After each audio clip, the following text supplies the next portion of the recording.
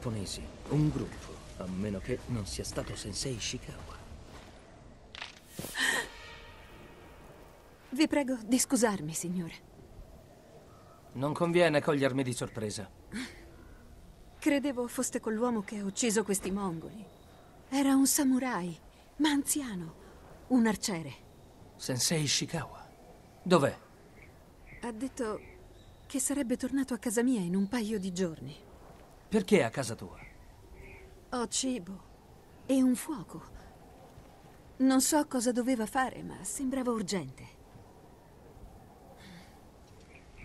È possibile che abbia rintracciato Tomoe.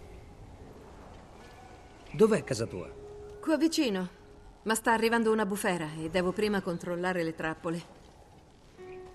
Va bene, verrò con te. Come ti chiami? Matsu, signore.